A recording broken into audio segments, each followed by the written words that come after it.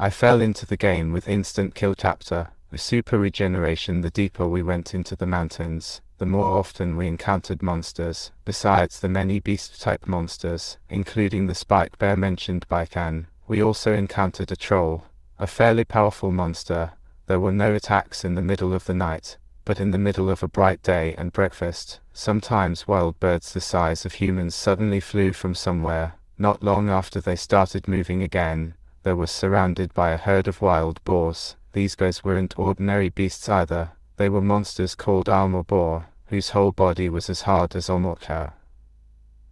As Asha swung her sword, the huge sword energy that spread horizontally cut them all in one blow. It stained the forest with blood. She was playing the role of an escort perfectly. If none of the monsters we encountered came within five meters of me, I asked Khan, do you encounter monsters this often every time you climb the mountain? I don't run into them that often, usually. I'm strictly vigilant so that I don't run into them. Then explained that if he saw even an ominous sign, he retreated or turned in a different direction. It meant that he was only going straight, regardless of whether he found a trail. He probably realized that there's no reason to be careful after seeing Ash's strength. It would be just a waste of time. We arrived at the bottom of a cliff by the time the sun rose in mid-sky. It was a cliff high enough to be dozens of meters high, but then spat out absurd words. If you go up here and move a little further, we will arrive at our destination. What? I looked at him, wondering what kind of bullshit he was saying, and Khan only smiled awkwardly. Oh, I'm fine. It's a terrain with many places to step on, and I'm used to it because I've already climbed this kind of height once or twice. No, I'm not worried about you, I'm worried about me. I looked up at the cliff, I forgot about it for a while but for the superhumans in this world, climbing a cliff with no gears was no big deal. The cliff was not a blocked road, but a path that could only be climbed. Is this the only path? Yes.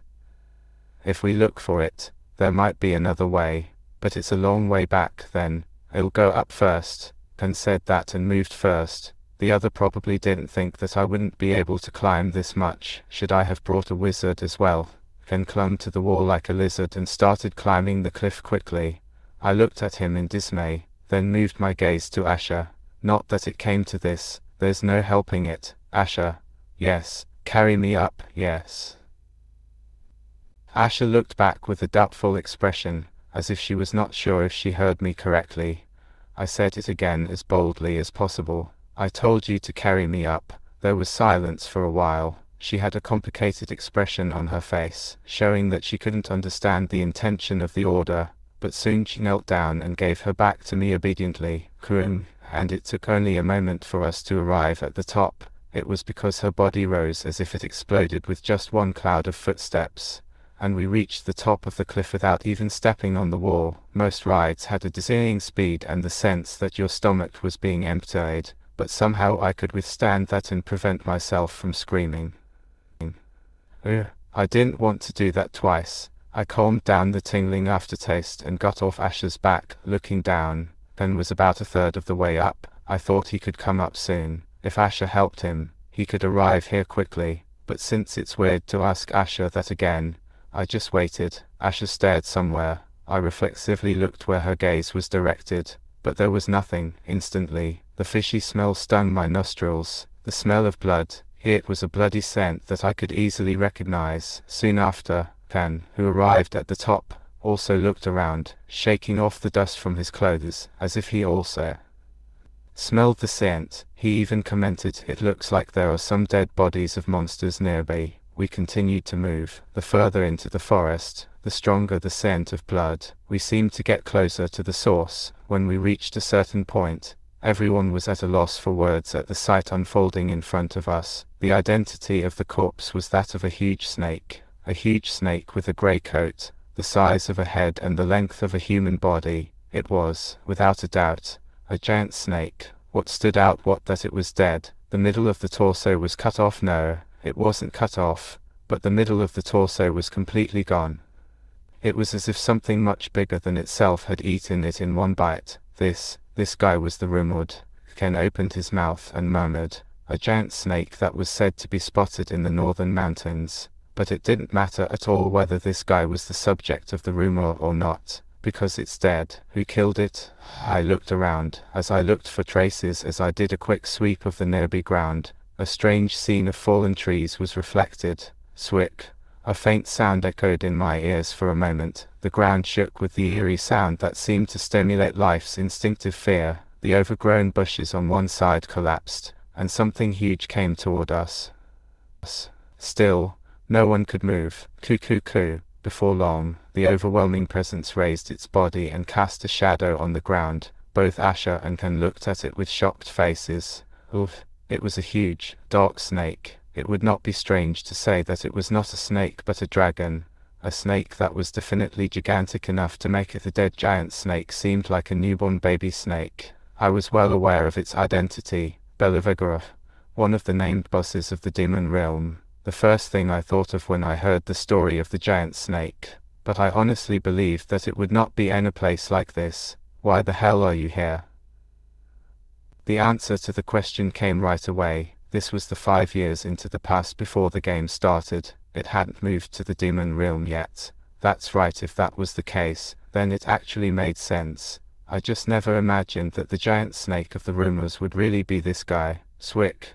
A huge, torn pupil came out and scanned the other two. It was as if it was contemplating which food to try first. Ken had a face that seemed like he would faint at any moment, and Asha was no different, far from preparing for battle. Her face turned white, and I could see that the hand holding the sword hilt was shaking, just like a frog before a snake. Is this fear? Some monsters had a kind of fear ability that caused extreme fear and panic in weaker targets. Belivigor was one of them. No matter how strong Asha was, there was no choice but to be greatly influenced by the fear of the opponent with a much higher level.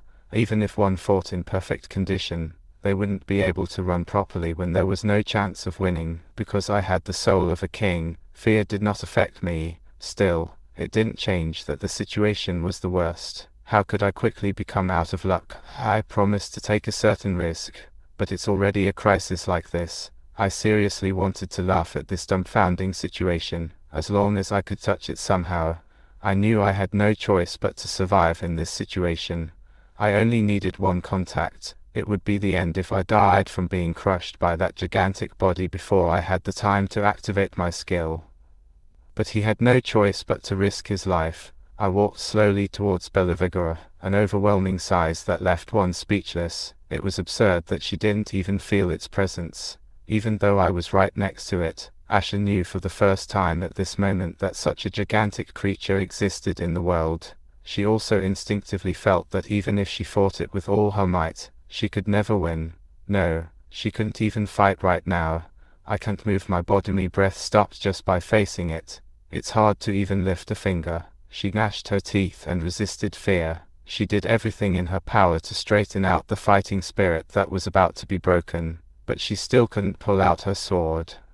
But the fear that engulfed her from the depths of her heart couldn't be shaken off, no matter what. All she could do was feel hopeless and helpless and desperately raised her magical powers to free herself from the bondage. It was then, the sound of footsteps breaking the silence. Her eyes widened. The seventh lord was slowly approaching the monster, with a light step like as if this terrible pressure had no effect on him. The monster tilted its head and slowly lowered its head. The slightest movement raised wind pressure and made the ground tremble. It was as if it was wondering why there was a prey that could move casually, a distance close enough to touch if you stretch out your hand.